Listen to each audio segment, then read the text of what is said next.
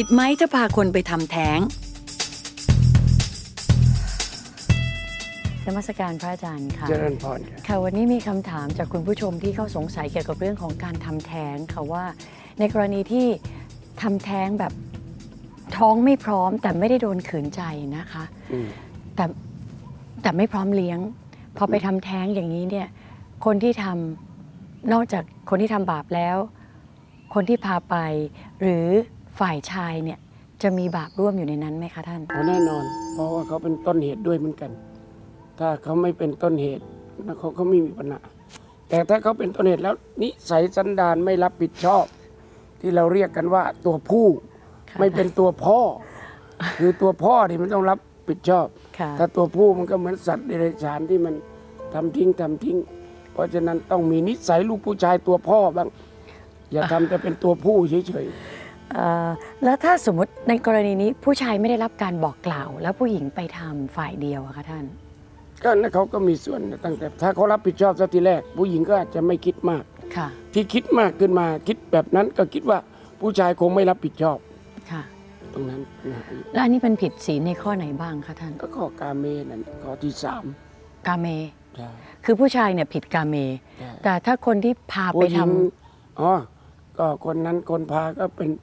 เป็นข้อที่หนึ่งำอ้อยถึเป็นงข้อที่หนึ่งเป็นข้อข้อที่หนึ่งเลยใช่แต่ในขณะที่เจ้าตัวที่เป็น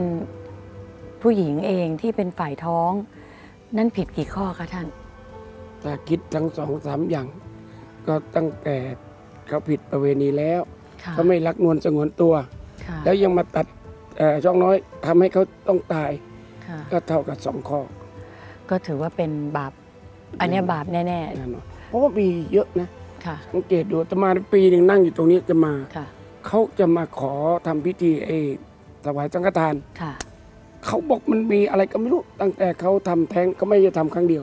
สามครั้งค่ะ เวลาเขาทำธุรกิจอะไรจะสำเร็จเนี่ย